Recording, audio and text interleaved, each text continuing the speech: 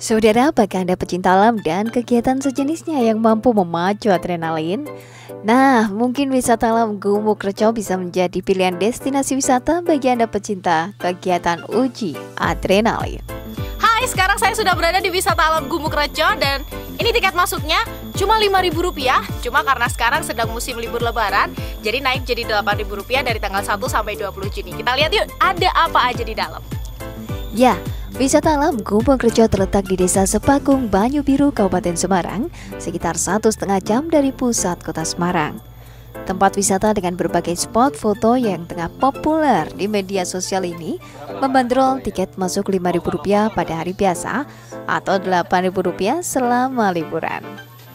Sepanjang pintu masuk menuju wahana Anda akan disambut pepohonan rindang serta udara yang sejuk. Ya, Gumuk Rejo menyediakan berbagai wahana ekstrim dengan harga tiket yang berbeda-beda.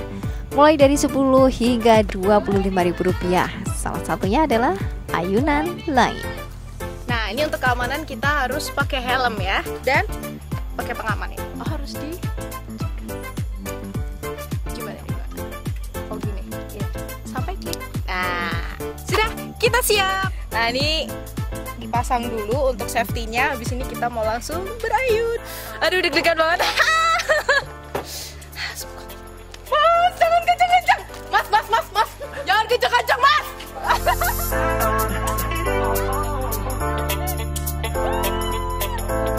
Berayun di ketinggian 800 meter Anda bisa menikmati keindahan Gunung Merbabu Tak hanya itu, pemandangan sawah, suasana nyaman khas pegunungan, dan udara yang sejuk cocok bagi Anda yang ingin melepas penat. Selain ayunan langit, wahana seru lainnya yaitu ondol langit. Di sini Anda bisa berfoto seolah-olah sedang panjat tebing.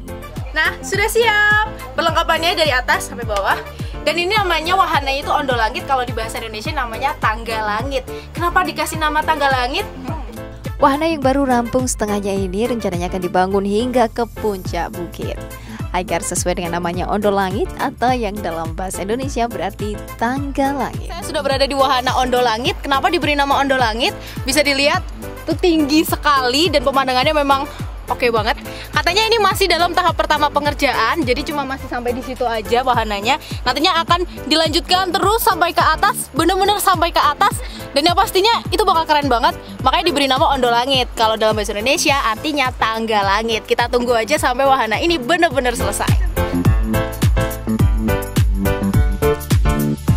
Selain kedua wahana tadi, Gubuk Rejo juga menyuguhkan berbagai wahana dan spot foto ekstrim lainnya seperti flying fox dan jembatan kepompong.